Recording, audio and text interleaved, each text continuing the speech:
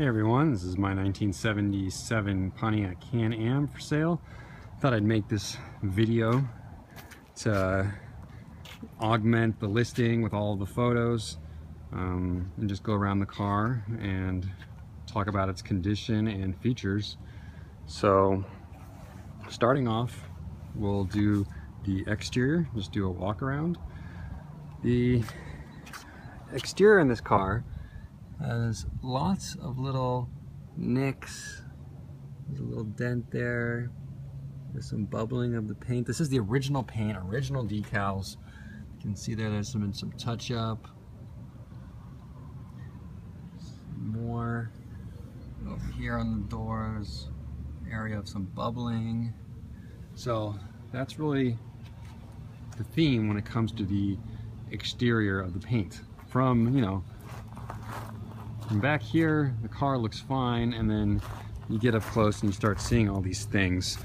I'm just gonna, there's some, a scratch with some touch-up paint on it. This is all done by the previous owner over the years. I mean, this is, again, the original 40-year-old paint job. The decals, this is typical. They all have, you know, some cracking, some uh, pieces missing from them. All of the metal emblems, like the Le Mans Sport Coupe, all those things are still intact uh, on the car. That bottom piece of vinyl, that black piece of vinyl, you can see there's pieces of it missing there, pieces of it missing there. Um, around this way, see some paint there.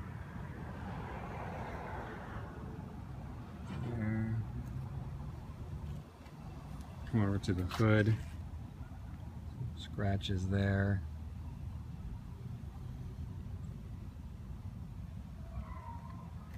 Small little ding there.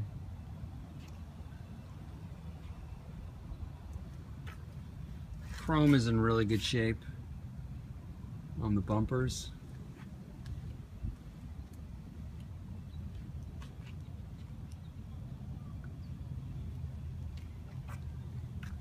The, uh, the original owner, sometime around uh, between 2000 and 2010, from what I've been able to piece together, painted the headlight and taillight bezels to match the cameo white. Um, you can see there the chrome is under there. So if you take some paint stripper to those and take that paint off and you have the original chrome look back, but he wanted to go with kind of a monocolor front and rear. Come around on this side. Little ding right there. Some more little scratches and touch-up paint. There's that other logo. This undercarriage uh, black decals in much better shape than the driver's side. You can see there's just that little piece there missing. So, this way. There's a small rust spot right here. This car has remarkably little amount of rust on it. I mean, that's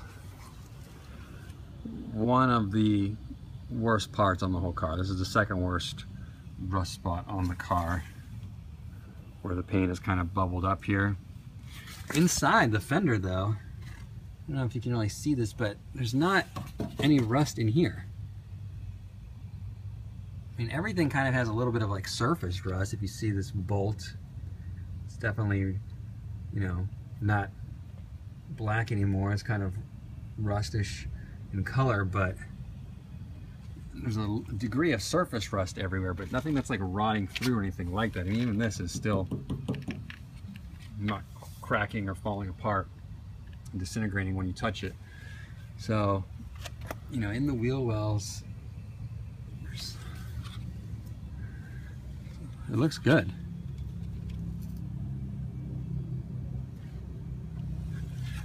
Okay, around here, you can see tail light bezels painted white, like I talked about. This decal is in good shape, better shape than the other ones at least. But the paint on the spoiler Getting close there, it's all a little, you know, cracking. There's a big old crack in the paint there. Again, chrome on this bumper. Really nice. All the rubber is there on the back of the bumper. Trunk. So at some point in its life, this car was rear-ended uh, when the original owner had it. He, his son told me that he had to replace the trunk and the spoiler, and he managed to find a donor Can-Am for the spoiler, and he believes that the trunk came from a regular Le Mans, not specifically a Can-Am. I don't know about any uh, anything other than that, like the rear quarter panels, if those had to be replaced. I don't think they did. He didn't mention that they were replaced, and also this dent here, you can see, makes me think that they weren't replaced because then that wouldn't be there. Um, that's one. This is this right here is probably the biggest dent in the car with this, really the only other one that's not like dime sized being this one up here that we looked at earlier. those are the two main body issues. You can see on this side what the shape of that fender should look like. So We talked about that rust spot on this side, right there. You can see coming up here to the rear window, there's a little bit of bubbling there as well. In there, it's about the worst of it. Um, the paint, can see there, that coat is starting to kind of show its age there. The worst part of the paint is right here on this uh, driver side rear quarter panel. That coat is peeling off. I don't know, maybe after the accident they just painted this quarter panel because you can follow that line of paint to about right here. And then with the door doesn't have anything like that. It just has the touch-ups and the scratches and things like that. So that gives you a overview of the body and paint and on this piece. You can see coming up from that rear driver side quarter panel it's got that coat coming apart but then after that it doesn't have anything like that on the hood I mean on the on the roof um, only other thing in terms of rust that I need to point out is in the same spot as the other one, the behind the wheel on the driver's side. That's the worst spot of rust in the entire car. You can see that bubbling right there. And that's about, oh, it's about about eight inches long, that, that rust bubble there. And again, on the inside, looking at the wheel well, it's still got that black paint in there. It's not, there's no holes, there's no, nothing's rusting or rotting through. Um, really remarkable how little rust there is on this car. I mean, there's just those two little spots and a few little bubbles on the top of the trunk that I showed you. You can take a look at the photos on the listing. And there'll be a few of the undercarriage. You'll see the floor pans are in great shape, no rust on them. So I wanted to point that stuff out. Um, we talked about the two dents. We talked about the accident, the tires, brand new, less than 500 miles on them, uh, original rims, and uh, wheel trim as well. The only thing that isn't 100% correct, as you can see on these center caps, I believe that this should have like a Pontiac uh, emblem inserted in there that clips in there and not just be painted red. But other than that, brand new tires, original wheels. And the tires, I still have the certificates from the uh, second owner when he bought them. Which, the second owner is the original owner's son. He bought them at Discount Tire here in Phoenix, Arizona, and they have lifetime uh, certificates on them, good for repair or replacement anywhere where there's a discount tire. So those will come with the vehicle. And then weather stripping is another thing I want to point out. You can see it also appears to be original. You can see there it's been glued. It's just, you can see it's, it needs to be replaced. Weather stripping is something that, you know, if you wanted to repaint this car, then that would be the time to do it. Let's show you the trunk real fast. I've got it unlocked.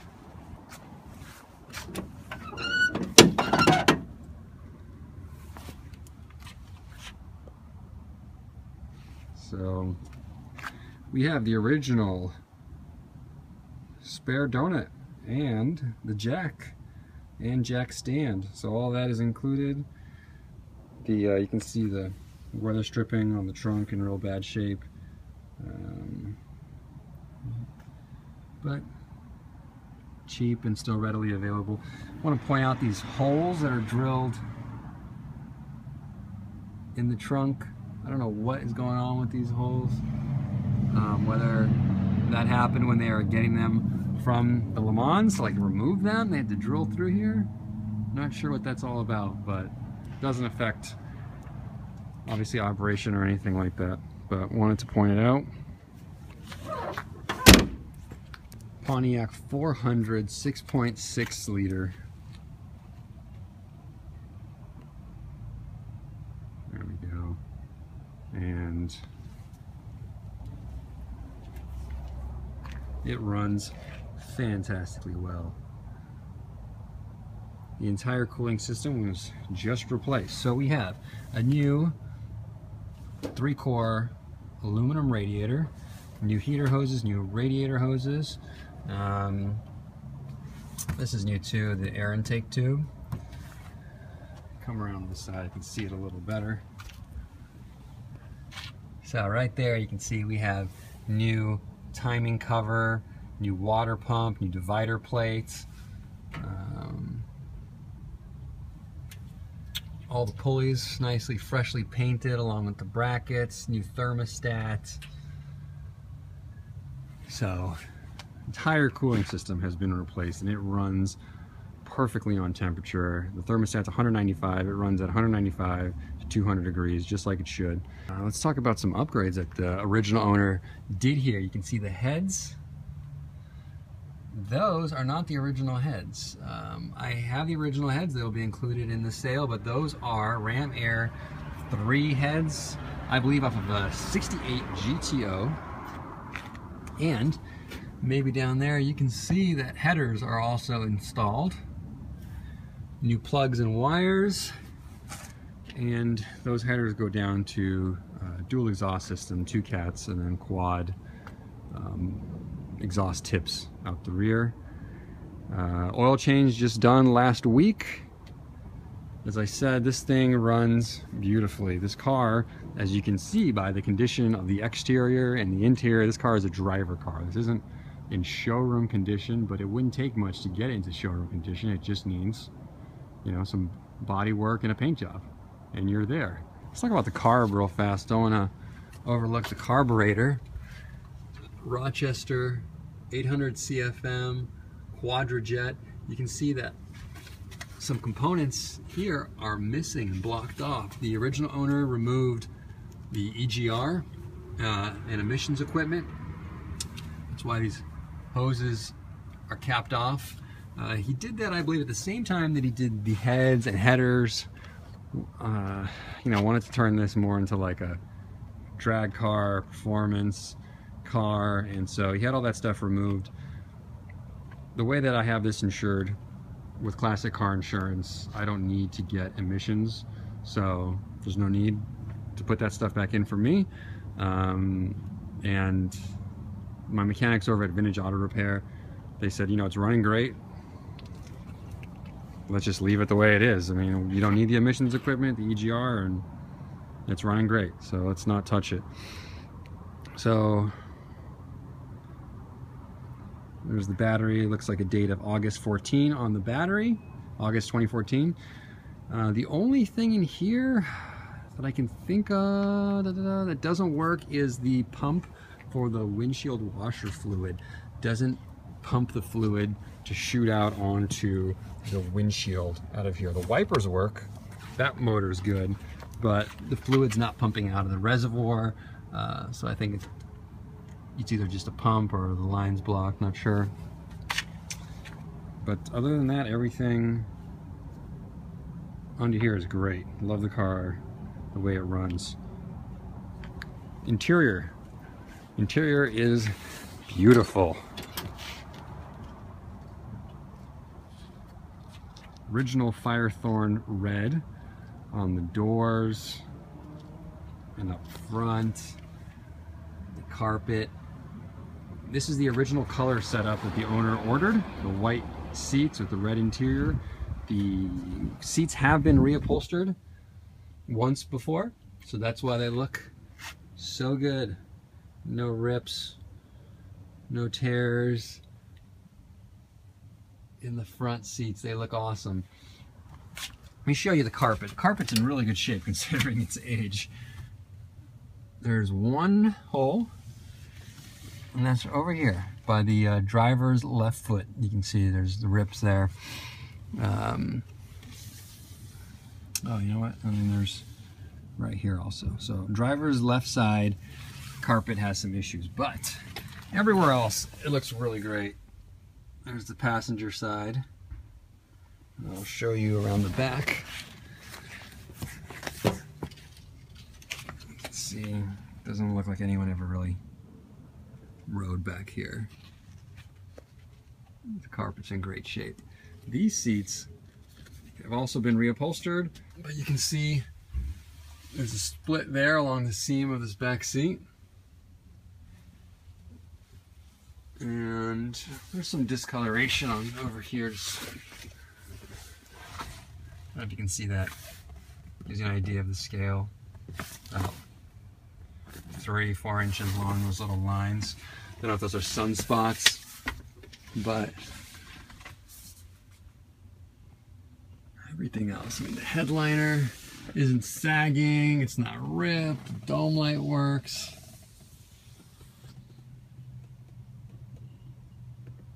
Really nice, really nice interior.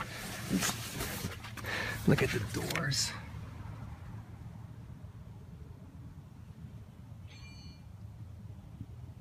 The only thing on this door, right on that handle, there's a little bit of a crack in the plastic.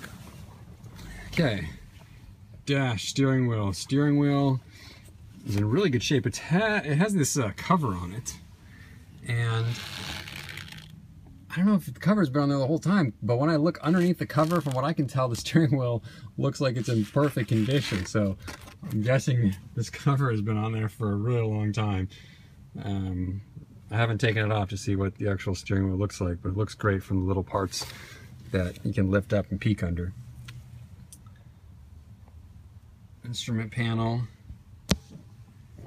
Get in there. Clock isn't working. Don't know if that's just a fuse or what. Uh, every other gauge works. The fuel gauge, um, when you fill it up, it goes, the needle goes way past the fill line. It goes like to here. So the whole scale is just kind of tilted. So it, it runs out, I was told, of gas somewhere around here between, you know, empty and half, halfway left. So I was told not to take any chances with it. When I get down to uh, half a tank, fill it up. But the other gauges work, the speedometer works, so you can see the 76,868 original miles. The speedometer works, although it is um, sometimes inaccurate and lagging behind your actual speed because the original owner changed out the rear end gears to 3 73, I believe from 304, 308, maybe they were 323. I can't remember what they were, but that obviously has an effect on the speedometer. Cigarette lighter works, AM radio works, heater works, blower motor works. Still has the original radial tune suspension badging and the Pontiac. You can see those lights work. Shifter on the console. Open that up, see if it works.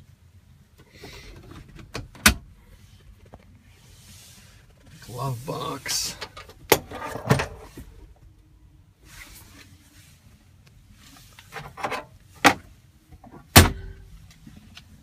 Just really nice, really, really nice interior. Can't believe this interior is 40 years old. Um, there's only one main crack, and that's on top of the dash. So you see that split, and there's a little bit of cracking up here, but the good news is nothing extends past this point right here. So nothing gets to the front of the dash. So if you wanted to hide that, red dash mat up there, and you're good.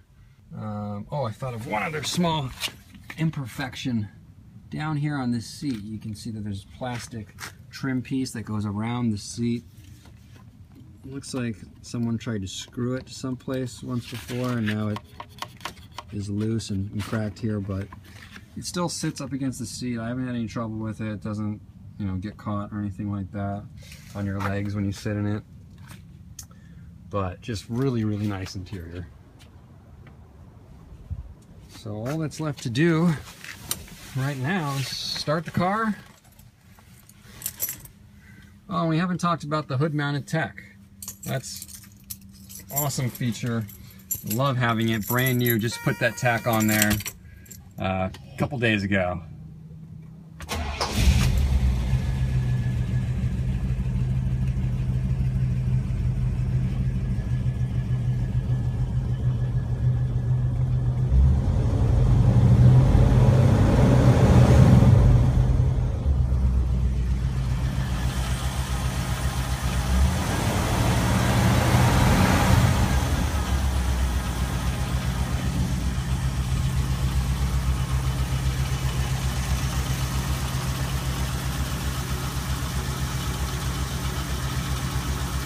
We go. 1977 Pontiac Can-Am. 76,000 miles. Original engine, matching numbers and transmission. One owner for 35 years. And then he transferred the title to his son. Then I've had it for the past six months. If you guys have any questions, just let me know. Thank you.